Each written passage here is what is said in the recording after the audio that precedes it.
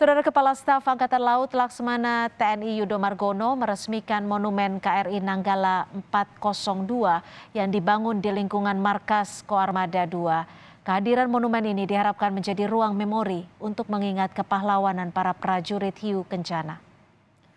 Monumen KRI Nanggala 402 nantinya akan dibuka untuk umum sebagai destinasi wisata sejarah kemaritiman dan wahana pembentukan karakter sebagai bangsa bahari.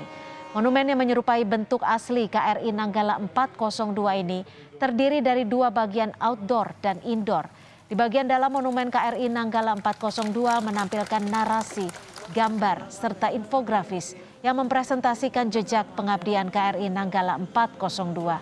Selain itu terdapat foto beserta nama serta barang-barang milik para pahlawan KRI Nanggala 402 yang menceritakan semua tentang Monumen KRI Nanggala 402 yang kita resmikan hari ini dibangun sebagai lambang keabadian semangat pengabdian para syuhada bangsa untuk memberikan penghormatan yang setinggi-tingginya atas dedikasi, loyalitas, dan pengorbanan para prajurit Nanggala demi kejayaan dan Angkatan Laut, bangsa dan negara tercinta, sekaligus sebagai pengingat dan politik motivasi kita semua untuk meneladani semangat dan nilai-nilai yang telah mereka contohkan.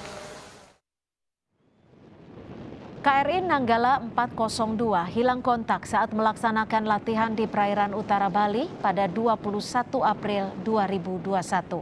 Saat itu KRI Nanggala 402 dijadwalkan melaksanakan latihan penembakan torpedo. Setelah dilakukan pencarian beberapa hari, pada 25 April, KRI Nanggala 402 akhirnya dinyatakan tenggelam di kedalaman 838 meter dan sebanyak 53 awak gugur dalam peristiwa tersebut.